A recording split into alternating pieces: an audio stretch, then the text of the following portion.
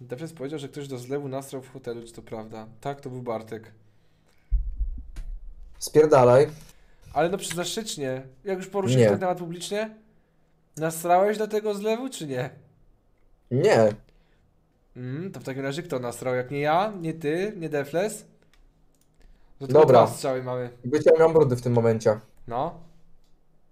Mm. Artur wyruchał Wariana jak spał.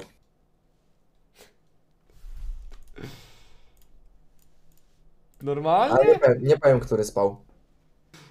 Jak pozbyliśmy- pozbyliśmy się z gówna ze zlewu? Bartek wpierdolił. Dobra, kurwa. Przesadzasz, człowieku. Ja pierdolę. Teraz się udało. Wreszcie, kurwa.